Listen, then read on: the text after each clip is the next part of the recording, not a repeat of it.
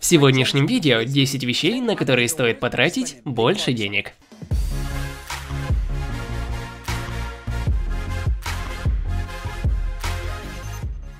Первое – твоя прическа. Здесь вы платите за навык парикмахера. Давайте на чистоту. Многие из вас застряли на одной прическе лет 10, 20, может и дольше.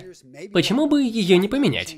Тогда найдите себе умелого стилиста или барбера с другим подходом. Может вы привыкли к старому консервативному парикмахеру, но почему бы не найти юную девушку? У нее есть новые идеи. Только школу закончила, но успела набраться опыта и отличных отзывов. Попробуй что-нибудь новое и не бойся потратить немного больше денег на волосы.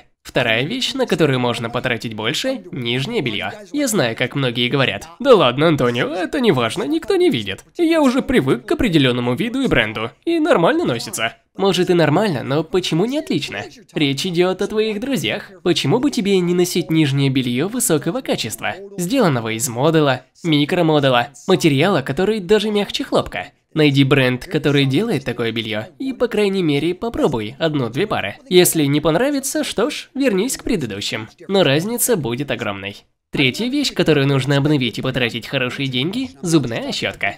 И я не говорю перейти с 1 доллара на 5. Я говорю о переходе на электрощетку, потому что тут играет роль колебания в минуту. Если быстро водить обычной щеткой, то можно добиться 200. А у электрической 31 тысяча колебаний в минуту. Следующий предмет по списку, и я уверен, что большинство из вас знали, что здесь окажется обувь. Потратьте хорошие деньги на туфли, когда у вас будет возможность. Понимаете, большинство туфель слеплены. В том смысле, что они держатся на клею и сделаны из низкокачественных материалов. Такая обувь обычно находится в диапазоне до сотни долларов. Ее делают из кожи низкого качества, обувь будет разваливаться и не прослужит годы. Что прекрасно в добротной паре обуви, что она долго прослужит. Со временем такая обувь будет выглядеть лучше. Вы даже сможете перепродать ее. Вот куда вам нужно посмотреть, чтобы определить качество обуви. На подошву. Вам нужна технология либо стежок Блейка, либо Гудьер. Итак, стежок Блейка. Сбоку вы не увидите никаких швов, а вот на нижней поверхности вы их обнаружите. Это значит, что подошва прошита. Кстати, здесь резиновая подошва. Большинство итальянской обуви сделано со стежком Блейка. А вот здесь также стежок Блейка, но подошва кожаная. Кожаная подошва – еще один индикатор хорошего качества. Значит, компания вкладывается в качество обуви в целом. Когда вы увидите, что есть ранты, и они прошиты со всех сторон, то это признак Goodyear Weld. Поговорите с продавцом, возьмите сами и посмотрите, это стежок Блейка или Goodyear. Кто-то предпочитает первое, кто-то второе. Я считаю, что обе технологии отличные варианты, потому что это показатель того, что фабрики вкладывают силы в качество и хорошие деньги на материалы. Следующая вещь на прокачку достойная вложений – это ваш костюм. Я говорю о спортивных пиджаках, блейзерах и самих костюмах. По определению, костюм – это пиджаки-брюки, сделанные из одинакового материала. Но в любом случае, когда вы надеваете классный пиджак, вы хотите хорошо выглядеть. Вы хотите выглядеть на миллион баксов. Итак, сосредоточьтесь на пирамиде стиля. Размер, функции и ткань. Когда вы только начинаете, вы можете ею пренебречь, но только со стороны ткани. Вы можете выбрать бренд, о котором никто не слышал, но убедитесь, что он хорошо вам подходит и выполняет те функции, для чего он вам нужен. Например, для собеседования. Если вы носите пиджак часто, это ваша рабочая одежда, вам нужно потратить деньги, чтобы обновить его. Друзья, не бойтесь потратить хорошие деньги на свой костюм. Далее поговорим об очках. Ни один другой аксессуар не сидит на вашем лице, как они. Друзья, вы, может быть, привыкли к одной модели, но почему бы ее не сменить? Тут так много различных вариантов. Если вы носите очки, используйте их как стильный аксессуар. Эти большие для большинства парней. Попробуйте эти, если вы креативный, то найдите способ заставить их работать. Так много различных способов с помощью очков показать свой посыл. И это не простые рядовые очки. Выбирайте солнечные очки. Можете присмотреть более вызывающие, которые привлекают больше внимания. Или же выбрать классику, которая всегда работает и подходит большинству лиц, такие как авиаторы. Друзья, не бойтесь потратить хорошие деньги на ваши очки. По моему мнению, следующая вещь стоит своих денег. Хорошая кожаная куртка или пальто.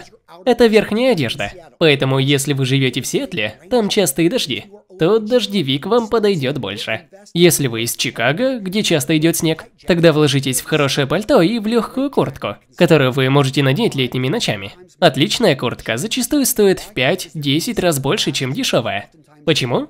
Потому что их делают небольшими партиями и зачастую более сложного покроя. Материалы, если это кожаная куртка, качество кожи играет огромную роль. Затем это элемент стиля. Большинство фабрик массового производства производят куртки, ну, скажем, не особо привлекательными но надев отличную куртку, вы будете чувствовать себя на миллион баксов. Далее не бойтесь потратить деньги на качественную сумку. И первое, на что вам нужно посмотреть, это детали. Окей, хорошую ли они использовали молнию, проходит ли гладко собачка, Затем смотрите на швы, как прошита сумка, ровная ли строчка, прочно ли прошита, хорошие ли материалы не использовали. Посмотрите на мелкие детали. Зачастую на основании сумки имеются маленькие ножки. Это признак качества. Посмотрите внутрь, оцените подложку, дизайн, конструкцию. Не бойтесь тратить хорошие деньги на сумку, которой вам хватит на всю жизнь. Следующая вещь – часы. Я люблю стильные часы. И если бы часы не были стильными, я бы их больше не носил. Мне нравятся часы из металла. Очень функциональные, подходят практически к любой моей одежде. И после фэшн-часов я решил попробовать что-нибудь новое. И купил очень хорошие роликсы. Не сколько для отображения времени, сколько для отображения вашего отношения ко времени. Это говорит о вашем обществе, об активной позиции. Они напоминают мне и моей семье изучать мир. Итак, друзья, ради этих целей не бойтесь обновить свои часы. Следующий предмет, достойный хороших денег – парфюм. Друзья, не бойтесь пойти на поиски ароматов. И когда вы найдете тот, который вам понравится, когда вы нанесете его на себя, вау, я пахну шикарно. На этот аромат можно потратить деньги. Почему? Потому что речь идет о том, как вы себя чувствуете. Если вы его купите, это может стать эликсиром смелости. Вы будете настраивать себя каждый раз при нанесении аромата, чувствовать, что вы готовы к настоящему. Вы готовы, чтобы выполнить работу. Подумайте об этом. Вы пшикнули и пошли выступать. И все прошло успешно. Так парфюм более чем окупается. Не бойтесь потратить хорошие деньги на этот аромат. Ну что, господа, теперь ваша очередь. Я хочу увидеть ваши комментарии. Что вам понравилось? С чем вы согласны, с чем не согласны? Что, по вашему мнению, должно оказаться в этом списке вещей, которые достойны своей большой стоимости? Я хотел бы увидеть ответы в комментариях. Если вам понравилось видео, если вы нашли его полезным, то поделитесь им с друзьями.